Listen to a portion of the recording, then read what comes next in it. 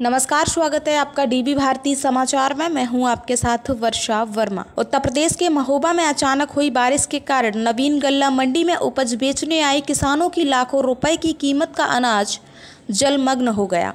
नवीन गल्ला मंडी सचिव की बड़ी लापरवाही के कारण किसानों की उपज बर्बाद हुई है, जिसको लेकर किसान और व्यापारियों में खासी नाराज़गी है। किसानों और व्यापारियों ने मंडी सचिव की इस लापरवाही को लेकर अधिकारियों से भी शिकायत की है। आपको बता दें कि महोबा में अचानक मौसम का मिजाज बदला और तेज हवाओं के साथ तेज बारिश हुई है, जिसमें नवीन गल्ला मंडी में अपनी उपज बेचने आए किसानों की फ़सल भी बर्बाद हुई है। आपको बता दें कि नवीन गल्ला मंडी में पर्याप्त टीन सेड और पानी की निकासी को लेकर कोई व्यवस्था नहीं की गई, जिसके कारण मंडी में जल भराव हो गया। मंडी सचिव की लापरवाही के कारण मंडी में जल भरा हुआ है।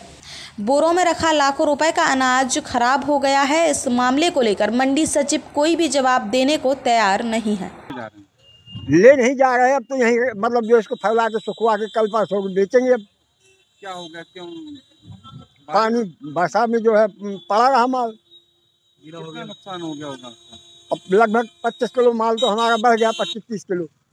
क्या यहाँ छाया नहीं है बारिश से बचाने के लिए? अब कुछ और व्यवस्था नहीं थी मैदान में पड़ा था।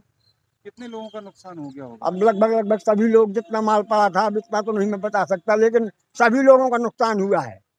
किस गाँव से आए थे आप? रेबई से आए थे।